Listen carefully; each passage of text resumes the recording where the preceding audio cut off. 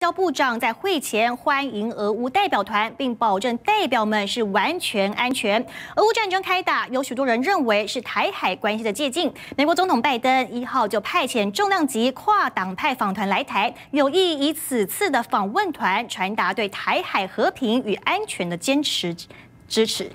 军用直升机缓缓降落，乌克兰与俄罗斯的代表团二十八号在白俄罗斯进行谈判，双方在长桌各据一方对坐。俄国代表全穿正式西装，而乌克兰代表大多穿着便服出席。乌克兰代表团中除了国防部长，还有外交部副部长、总统办公室顾问等人。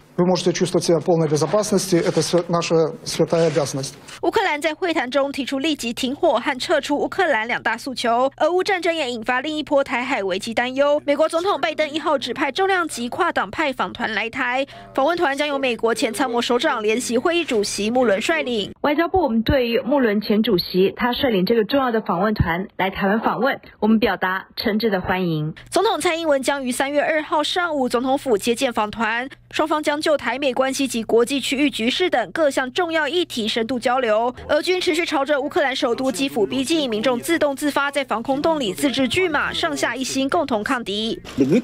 でも火炎瓶を用意したりとか、もうそのそこら辺にあるもので。啊，対応するっていう状況だから。乌克兰还有一名军人胡克活跃在社交媒体，不时在网上分享他身穿迷彩军服跳舞的片段。但他在乌俄开战后就没有再上传影片。有人猜测他已经战死。众说纷纭之际，他再播出新影片破除谣言，也令不少粉丝松了一口气。记者综合报道。